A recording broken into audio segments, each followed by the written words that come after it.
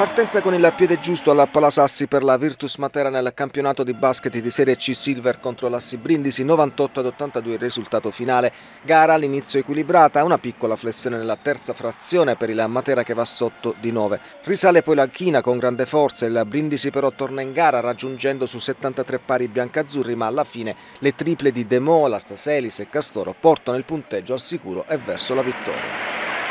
Era importante rompere il ghiaccio col nostro pubblico subito con una vittoria, non è stato facile, Brindisi insomma i primi due quarti ci ha dato più di un grattacapo, hanno tirato con il 68% dal campo e quindi a essere continuato così avremmo avuto ancora più problemi, non che non ce ne abbiano dato, eh, non hanno mollato mai, poi la partita si è chiusa all'inizio del quarto quarto con i due antisportivi a Rolic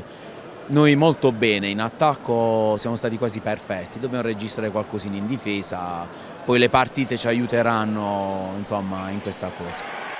Ora andiamo a Lecce per fare risultato sicuramente perché dobbiamo cercare sempre di imporci per la squadra che abbiamo, però anche loro, Lecce è una squadra costruita per vincere, e, insomma, sarà una gara combattuta al vertice e quindi dopo quella Francavilla sono prossime, i prossimi due step dopodiché abbiamo Bari, dobbiamo cercare di arrivare a, mm, insomma, a Bari con uh, un bel poker di vittoria.